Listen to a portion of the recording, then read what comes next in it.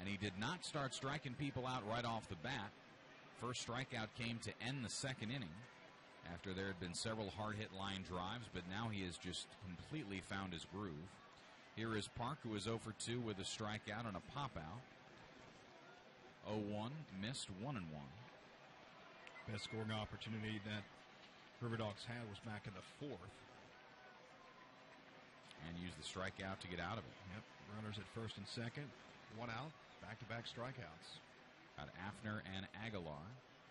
One two pitch here from Toussaint to Park. On the way. Got him again, a fastball on the inside corner. And Park is toast. Strikeout number nine.